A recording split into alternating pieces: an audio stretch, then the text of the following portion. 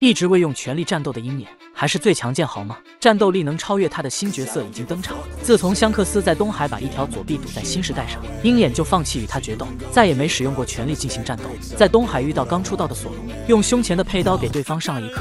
当时的索隆也算小有名气，在鹰眼面前简直不堪一击。来到顶上战争，鹰眼打算用全力战斗，他想测试与白胡子的差距，挥出的斩击被钻石乔兹挡下，完全不具备斩断钻石的力量。抓捕路飞时遇到七武海圣品，仅仅用了一招便将圣品打飞。这场战斗在漫画中没有。是动画组加戏，为了凸显鹰眼的实力，与花剑比斯塔战斗更像打太极，两人互相吹捧都没有全力输出。比斯塔的生命卡显示，他拥有匹敌鹰眼的剑术，略微有些不合理。还有对战达兹波尼斯，也是一刀下去将对方砍倒在地。不过与克洛克达尔交战，鹰眼选择主动放弃，也让他的战斗力被拉低。再来看与鹰眼实力不分胜负的香克斯，每一次出手都带着强者的震撼感。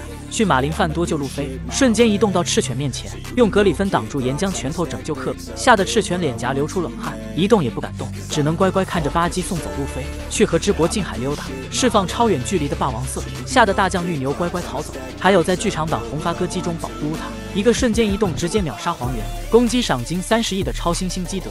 红发稍微有点认真，一招神臂又是秒杀。不过在海军看来，鹰眼的实力比香克斯更强。在公布鹰眼的赏金时，明确强调了他的剑术在四皇红发之上。都说越晚出现的人战斗力越强。五老心中的光头剑士叫赞巴隆维内斯兽狼圣，是掌管财务的武神，手中的佩刀很可能是无上大快刀初代鬼彻。从五老星的普通一击能重伤萨博看，光头剑士的战斗力或许不低于四皇。在漫画一千零八十六话中，神之骑士团的司令官登场，他叫费加兰德盖林格圣，是一名身材健硕的老者，手中拿着一把外形霸气的西洋剑，必定是一名剑士。作为伊姆王牌军。团的首领盖林格胜的战斗力比鹰眼强一些也很合理。从目前的剧情来看，伊姆就是最终 BOSS。他告诉五老星必须抓捕微微，这也注定了草帽团与伊姆会有一战。路飞的对手就是伊姆大人，索隆的对手可能是五老心中的光头剑士，也可能是神之骑士团的司令官。这两人应该就是海贼王完结前索隆的最终对手。